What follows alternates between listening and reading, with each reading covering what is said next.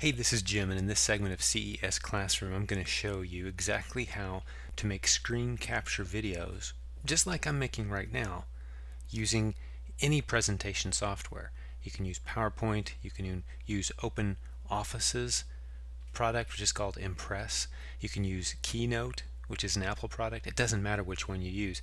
You can make videos like I'm making right now, step people through a slide presentation, and record it all using a tool called Snagit. S-N-A-G-I-T. Just look for Snagit on Google. That's what I'm using. And there's multiple screen capture tools you can use. Jing is another one. J-I-N-G. It's free. And you can keep your videos under five minutes with Jing and it works great. If you go over five minutes, it stops. But there's all kinds of options out there. I like Snagit. That's what I'm using now. By the time you're done watching this video, I think you'll be comfortable doing exactly what I'm doing right now, which is recording a screen capture video. Now here's what my screen looks like as I'm ready to begin working on my recording. As you can see what I've done is I've left open the slide view on the side. So I'm not in presentation mode where the main screen takes over my complete monitor. I leave it in slide mode where I, in editing mode where I can see all the slides listed over here and here's the slide that I want my audience to see. That's important to remember. When recording screen capture presentations, never go into presentation mode because that takes away a lot of your control. You want to have all your slides showing right over here and your main slide here. You have your headphones on, you've already done a sound check, you've made sure that your voice is coming through loud and clear, maybe even do a little test recording first so that you know your audio sounds good, and then you start going.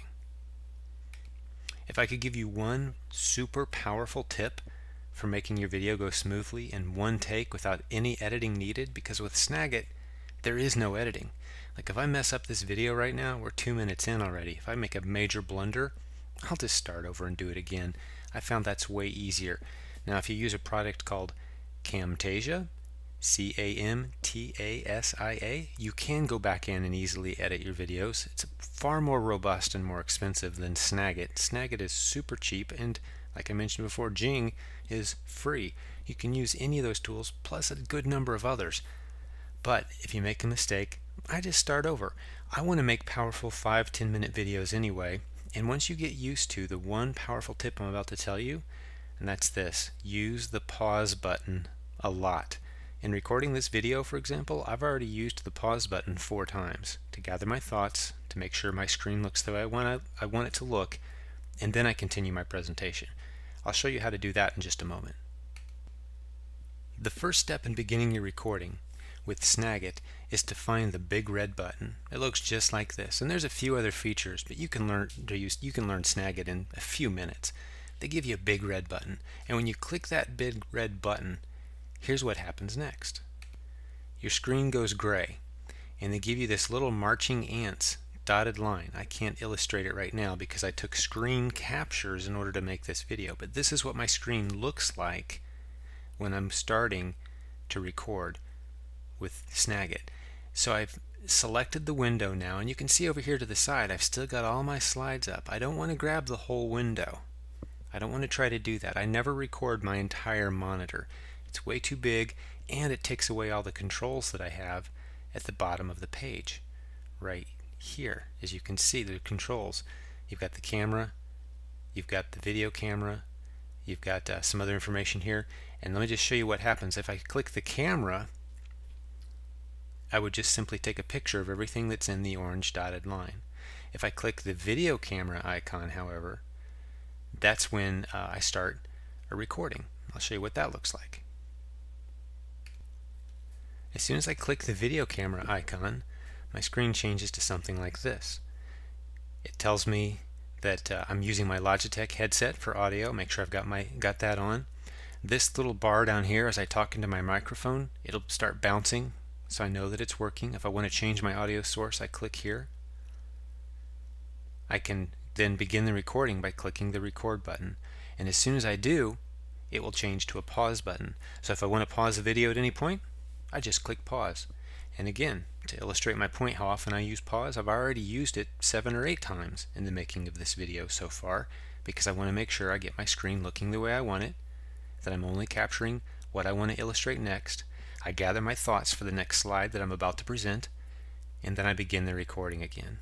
So literally all I'm doing is pausing and recording, clicking this button over and over until I'm done and happy with my video, at which time I'll click the square which means stop.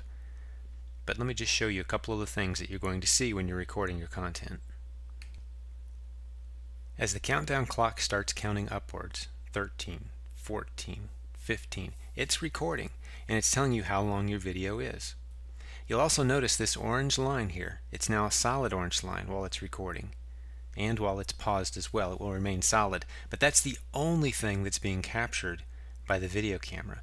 All this information over here, your notes, your other slides, they're not being captured, just what's inside this window, which is why I like to stay in author's edit mode, where I can see all my slides here, it, and I can see my big slide here, and I can adjust the size, get it just how I want it, and then pop from slide to slide, remembering to pause each time so that I don't bore my audience with any technical details.